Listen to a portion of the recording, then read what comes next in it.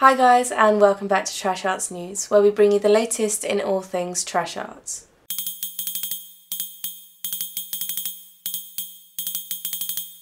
Today it's time to promote Trash Arts Horror Club once again. It's going to be back on October the 8th at 8pm at the Loft above the Kings in Southsea. This month we'll be showing Harvest of the Dead. Four teenagers venture out for a weekend of camping in the British countryside, but it soon becomes clear that they are not alone. An unknown figure is watching them. After a night telling scary stories around the campfire, the teens are attacked. Directed by Peter Goddard, starring Fiona Fox, Hannah Ransom, Laura Covey, and Tim Faraday.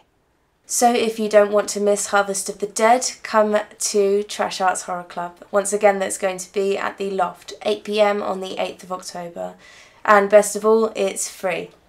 Thank you guys again for tuning into Trash Arts News. For daily updates, don't forget to like and subscribe, and I'll see you tomorrow.